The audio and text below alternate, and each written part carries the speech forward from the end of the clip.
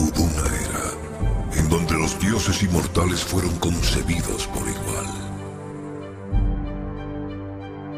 Cada universo inmerso en sí mismo. Coexistiendo para forjar lo que algunos llamarán Agarthan.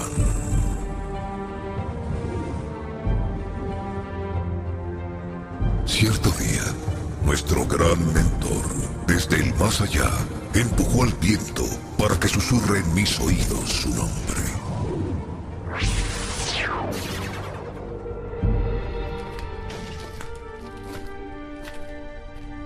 Soy Ayite, hija de Orión, la última diácona con vida.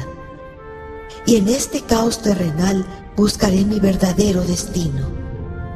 Ayite, hija de Orión, la última diácona de la Orden de los Dragones Alados. Ayite, ha llegado el momento. Deberás ir más allá de lo conocido, donde sortearás miles de peligros. A partir de hoy harás lo que el corazón te dicte. No estaré en esta vida por siempre y ya no podré guiarte en tu camino. Tibio amanecer desnuda mi piel, cálida mañana de mi dulce despertar.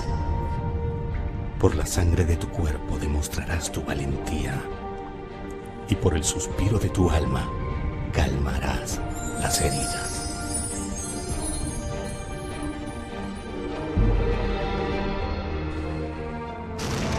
Su fuerte corazón la llevó a sobrepasar aquellos límites de lo conocido.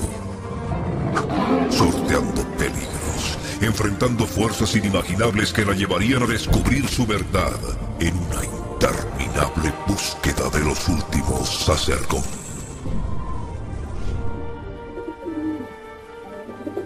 Mi dócil y fiel ave, Argentaris, llévame hasta lo más lejano del monte de Parcot.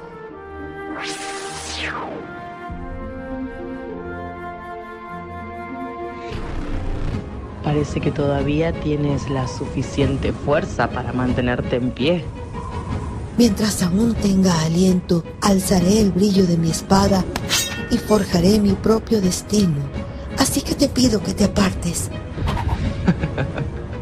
Calma, calma.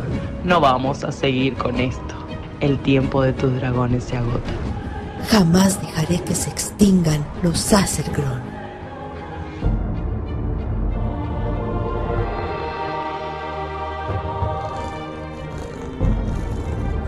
La he visto renacer como el fénix una y otra vez. He sentido su furia en mi cuerpo. Soy Ceprón, guardián del monte de Torga, y en nombre de nuestro Creador Supremo, les dejo como legado su historia, para que ya nunca más quede en el olvido.